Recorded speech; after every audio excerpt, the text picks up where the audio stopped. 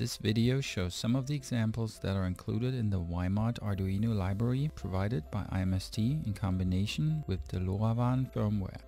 In particular, the C-Data demo that shows how to transfer data via the confirmed data transfer service of the WiMOD LoRaWAN EndNode firmware. The WiMOD LoRaWAN.h file is included at the beginning in order to enable the use of the WiMOD library. Since this file is very similar to the activation by personalization demo, the ABP relevant security keys are defined here too.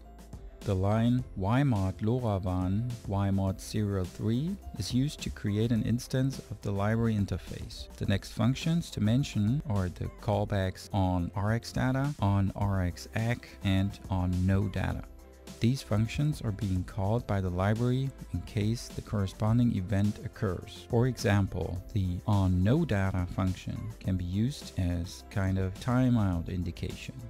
It is called when there has been no data received within the defined LoRaWAN RX window.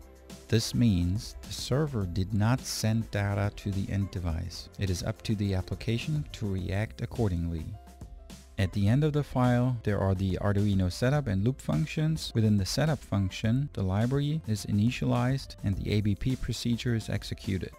The loop function checks the activation status, tries to send a hello world message, and is responsible to call the WiMOD process function at regular basis.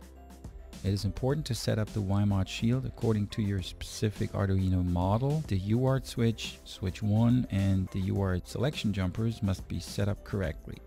Consult the datasheet for detailed information.